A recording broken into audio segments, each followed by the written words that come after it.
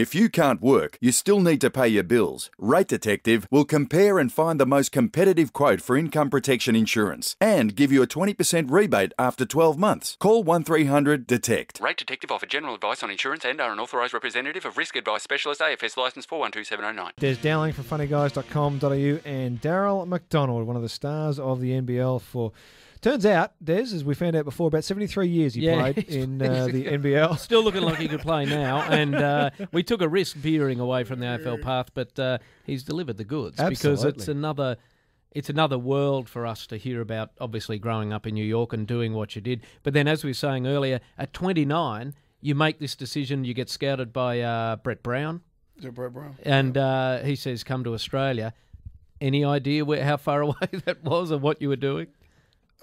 Uh, it was. Let me tell you what, what it was. I knew about Australia because of Ricky Grace. Ricky Grace played. I knew Ricky Grace played here. I knew they took point guards. But he called me. I was playing in the CBA in the states. I was in. I was actually in Sioux Falls, South Dakota, and he just gave me a call and said, you know, we look. He actually wasn't looking at me. So that's another story. A lot of people don't know that. I've, I was recruited, but he wasn't looking at me. He was looking at somebody else. So Oh, you, mistaken when you get recruited, you know, you send in video and they look at the video and somebody. He was looking at video of somebody else, but I happened to be in the same He video. saw Mr. Excitement. And there you go. and, that's, and seriously, and that's when he, he, you know, he gave me a call, said, you know, I'm, I'm Brett Brown. I'm in Australia. we'd like you to come out. Blah blah blah blah blah. And at the time, I didn't really care how much money it was. I just wanted to, because I was playing. I played in the CBA for four years. The CBA is a league you can play in, where you can you'll get opportunity to go to the NBA. and did you get an opportunity to go? I to never the- did. Not at and all. that's where that's where I, I got to a point where I just didn't want to play in the CBA no more. I was I was looking to, to go somewhere else, and the coming here came up, and he called me and said, "Do you like to go?" I said, "Yeah," and I was I was on the next the next thing smoking. I was on the next plane, and then I you know I got here. It's funny though because I got here, and the first day I got here. They put me up in a hotel in the city, and the next next morning we on a three and a half hour drive to Warrnambool. Oh, so I'm The in Windy Warrnambool, City. Yeah, in Warrnambool for Welcome to Australia. a week. So Yeah. we did we did preseason in Warrnambool for a week, and I was you know it was it was, it was different because you know I'm, I'm thinking I'm saying to myself I know you know it's you know, and then I got back here and you, you know you see the city you see that, and it you know turned out okay. Yeah, you got to Warrnambool and thought this can't be our our, Yeah, our base during yeah, the season. No, we, Sure. no, we not staying here. We, I know we not live here. I know we not. I know. I know we not living here. Husey was wandering around Warrnambool at that stage. We're not in Kansas anymore, Toto. But yeah, no, it, it it ended up okay. and immediately you felt at home in the league. Like uh, you obviously made an impression straight away. There's all the there's lots of great stuff on YouTube of your you know your tricks and your what you do. But you obviously it, it wasn't as if you obviously felt the league was a, a decent enough one to Yeah, stay. it was. I, I thought the, the league was good back then. I, what I what I would say is back then, the, I thought the, the imports you had to have good imports. Mm. You know, the Australians were good, but wasn't as good. They, they weren't as good as they are now.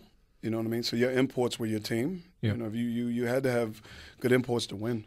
You know what I mean? And you know that first year for me, that, you know, saying that my first year is probably the reason why I'm still here. You know, you've come out first year, won, you know, win a championship, you know, one vote off MVP, and now and, and I'm still here now.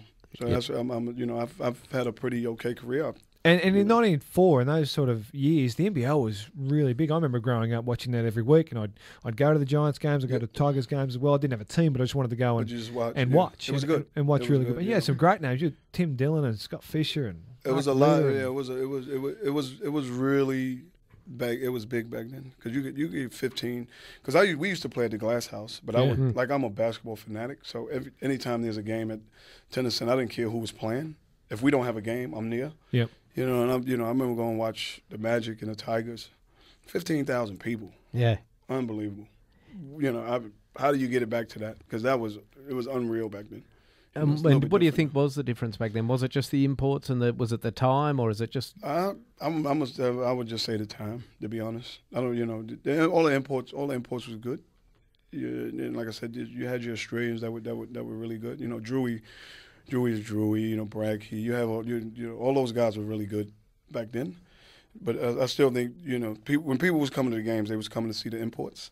Had you heard of Andrew Gaze because of his time at Seton Hall I and did. those sorts of things in college basketball? I, I absolutely did.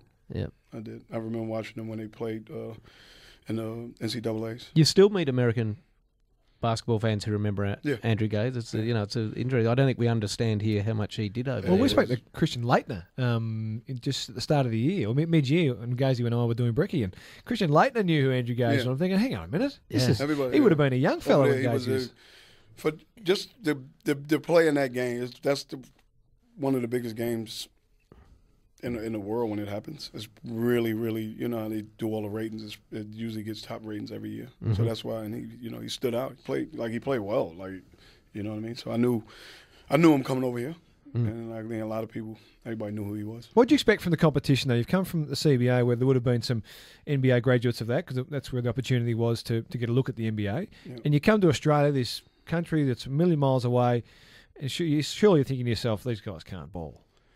Mm, no, I never actually thought that. To be honest, I, I knew. I knew it was a. I knew it was a good league because I, I like I, I, I always based it on Brett. You know, I, I think he was. He was. It was more. You know, I'm gonna bring this guy and see it, see what he can do. Yep. And you know, like our first, the first training session, it was. You know, our first training session that was in Warrnambool was really interesting because we, you know, we doing these, we doing these drills, and you know, it was a lot of ball handling drills and things like that. I think Mark Leader was looking at Brett going. You bring this guy all the way from the states to do ball handling drills. is, this, is this guy going to be your point guard? You doing ball handling drills, and it turned out. And then we started playing, and I was I was always known as a good passer and you know make a make a move and throw a uh, you know a no look pass. I can't remember who it was, but I hit somebody right in the face. and Turns out they should have been I looking. think that was yeah, and I think that that was that was pretty much. Brett was like, I think we got, I think we got the right. That'll guy. do. I think we got- I think we got- That'll I do. think we I'd wrap the him up in cotton wool for the rest I of think the uh, we got the camp. right, I think we got the right guy. Have the rest of the session off. Just sit over there for a sec. We know you can play.